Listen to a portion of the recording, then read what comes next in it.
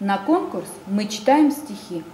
Стихотворение «Что такое День Победы» Тимофея Белозерова прочитает Мини Халина 7 лет. Что такое День Победы? Это утренний парад, едут танки и ракеты, маршируют строй солдат.